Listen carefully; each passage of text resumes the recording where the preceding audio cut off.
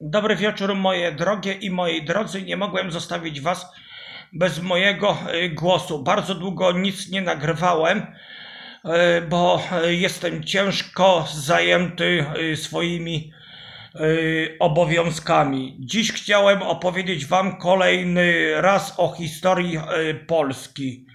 A więc tak, 93 lata temu, 14 grudnia 1923 roku do dymisji poddał się drugi rząd Wincentego Witosa, oparty na. Tak Hieno Piasta. Bezpośrednim powodem upadku tego gabinetu było powstanie krakowskie z listopada 1923 roku. Pozdrawiam gorąco wszystkich e, moich moje fanki i fanów